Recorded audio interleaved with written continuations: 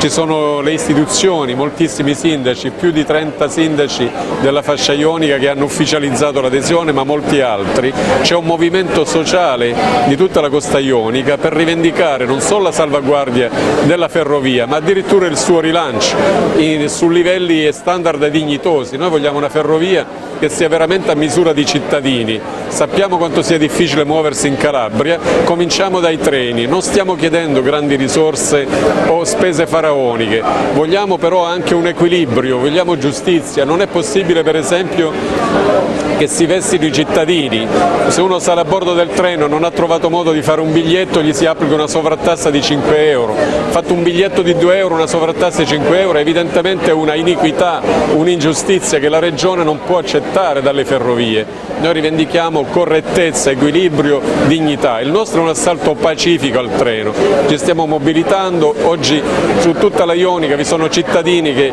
stanno rivendicando questi diritti, lo abbiamo fatto con un documento che abbiamo abbiamo chiamato dossier tecnico che è stato inoltrato ufficialmente al Ministero delle Infrastrutture e dei Trasporti.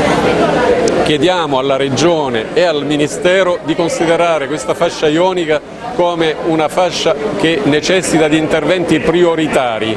Non abbiamo bisogno di 8 miliardi e mezzo come si richiede per il ponte sullo stretto, una cattedrale nel deserto. Noi vogliamo servizi su misura, avere dei treni locali che funzionino, di qualità, con una frequenza opportuna, treni locali e treni rapidi, perché per andare a, una, diciamo, a distanze più elevate bisogna assumere anche dei treni rapidi vogliamo la continuità, vogliamo poter arrivare a Bari con un treno come facevano i nostri nonni, vogliamo riprenderci i treni che ci hanno sottratto, più di 20 treni per andare dalla Calabria a Milano a Torino. Non accettiamo l'idea che i nostri ragazzi, i nostri anziani salgano su un autobus e facciano 15 ore di viaggio chiusi come dei polli in un autobus in ospitale. L'autobus va bene per 100 km, non per 1000-1500 km. Queste sono le cose che chiede la gente.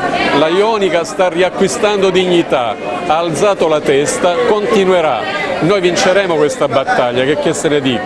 Una delle prime cose che abbiamo chiesto è l'acquisto di 15 treni di nuova generazione. 15 treni costano 60 milioni di euro, l'equivalente di 2 km di autostrada. Ci dessero le cose semplici, se cominciamo col piede giusto la Calabria può risorgere poi toccherà naturalmente ad altre tipologie di intervento, pensiamo all'intermodalità, al traghettamento sullo stretto, una motonave costa 8 milioni di euro, comprare 4 motonave significa risolvere già il problema del pendolarismo tra Messina e Reggio Calabria, con 4 soldi, poi se vogliono fare il ponte lo facessero pure, ma intanto prima che finiscano il ponte ci diano le cose elementari. Un treno costa 4 milioni di euro, qui li fabbrichiamo a Reggio Calabria e invece viaggiamo ancora con dei treni vecchi. Eccezionalmente stamattina abbiamo un minuetto, ma normalmente abbiamo delle ALN di 40 anni di età. È ora di finirla, siamo cittadini come tutti gli europei, meritiamo un trattamento pari, non chiediamo privilegi, a quello degli altri cittadini europei. Cominciamo da qui.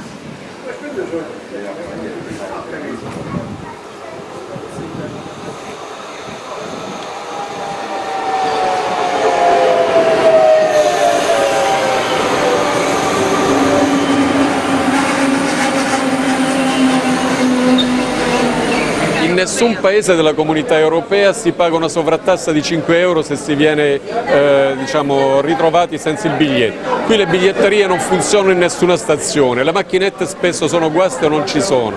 Se si va a cercare un biglietto spesso i tabacchini non si trovano, se si va di sera meno che mai, poi salgo a bordo e mi trovo il ferroviere zelante che per ordine dei suoi capi deve farmi la sovrattassa.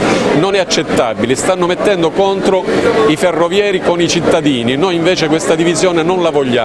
Noi i ferrovieri sono dei lavoratori, sanno benissimo i disagi che stanno vivendo i cittadini e sono con noi, sono i loro capi che hanno delle responsabilità e devono cambiare registro, se non lo vogliono capire con le buone lo capiranno con i tavoli tecnici, con le dispute, con la dialettica politica se sarà necessario. Se uno pensa al turismo, perché parlano tutti di turismo, ma come fa un cittadino a venire sulla Ionica quando non ci sono treni o sono dei treni di cui vergognarsi? Quando scendendo in una stazione la si trova chiusa con le inferriate o cementificato.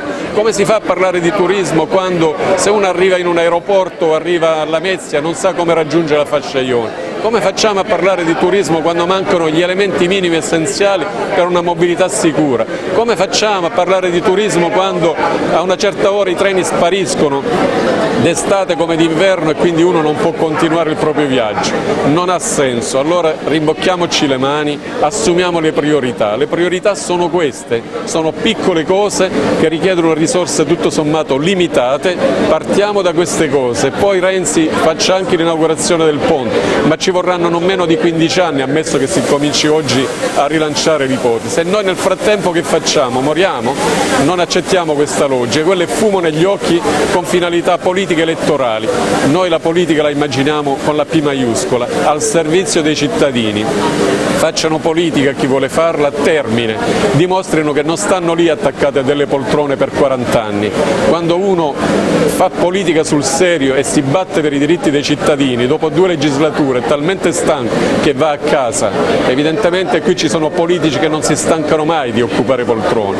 È ora di dire anche a loro o cambiate registro o vi manderemo a casa. Noi a Oliverio abbiamo chiesto una cosa, che vada a Roma dal Ministro del Rio, anziché fare spallucce, sorrisi, batti il pugno sul tavolo e dica così come hai fatto un accordo di programma quadro con il governatore della regione Veneto per un miliardo di euro per ripristinare una ferrovia storica, la ferrovia delle Dolomiti, che sono quattro binari abbandonati, noi vogliamo essere trattati alla stessa stregua e anzi meglio perché qui c'è un milione di abitanti che ha bisogno di questa ferrovia. Queste cose dovrebbe fare il governatore, non, non ci accontentiamo delle briciole, noi ci teniamo alle aree interne e sappiamo come sono spopolate. Una delle cose che potrebbe fare per le aree interne, per esempio, è eh, moltiplicare il numero di corsa degli autobus, anziché far viaggiare gli autobus in concomitanza con i treni, in parallelo ai treni, in concorrenza ai treni e sono pagati due volte i servizi perché paghiamo sempre noi della regione, sia i treni che gli autobus, il treno funzioni meglio, sia più frequente, più appetibile, più attraente e gli autobus li spostiamo mare-monte. Queste cose le ha dichiarate l'assessore Musman all'atto del suo insediamento, salvo poi a non parlarne più, a dimenticarsi di queste cose. Provate a chiedere a Musman che ne è del suo piano di integrazione a pettine, perché ha abbandonato quello che ha dichiarato all'inizio. Queste sono le cose che vorremmo sentire. Grazie. Sì, buongiorno, grazie a voi per per la collaborazione che ci date nel far veicolare questo messaggio di speranza. Merito oggi questa manifestazione che un po' si sta ripetendo in tutte le stazioni della fascia ionica, stazioni che sono in totale abbandono, sono, rappresentano un degrado non più sopportabile, ma eh, stazioni che invece devono rappresentare e sono un volano di sviluppo per quello che devono offrire e che devono dare come servizio. Non è più possibile, e questo quello che va sottolineato, che a Melito eh, e nella, nella tratta ionica ci siano solo pochissime fermate e pochissimi treni. Melito deve essere collegato, così come Logri, Bovalino, deve essere collegato a Reggio.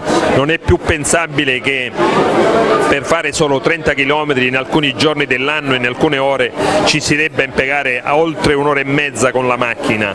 Noi vogliamo e chiediamo, lo chiedo io e penso tranquillamente di poterlo fare, sono convinto a nome di tutti i sindaci dell'area grecanica e di tutti i sindaci della Ionia.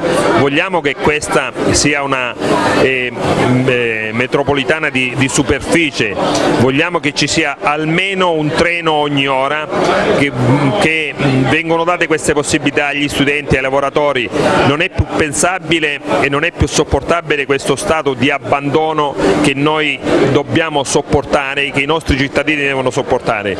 Quindi è giunto il momento che tutti assieme facciamo squadra, facciamo rete e facciamo giungere questo messaggio a chi fino ad oggi non ha mai avuto volontà, voglia e orecchie per ascoltare.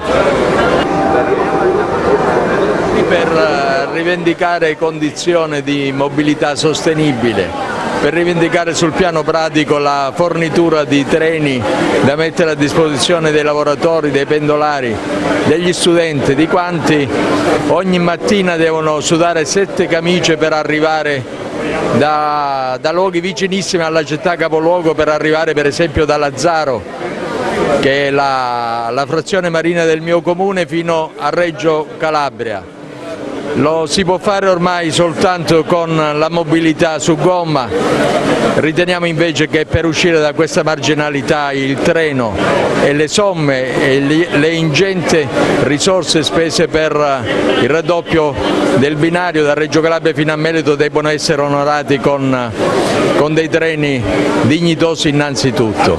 Questo è quello che chiediamo insieme, lo chiediamo con forza nei confronti della Regione Calabria che dovrà e speriamo a breve sottoscrivere un accordo con Trenitalia per la fornitura di questi treni e consentirci anche di poter fare del turismo nel momento in cui abbiamo l'esigenza di far portare la gente anche da queste parti. Siamo Euro Europa e siamo anche noi Europa, non siamo una parte dispersa del, di questo continente, vogliamo essere all'altezza delle sfide che abbiamo di fronte e ne rivendichiamo con titolo e con dignità, ne rivendichiamo con questa giusta lotta di stamattina.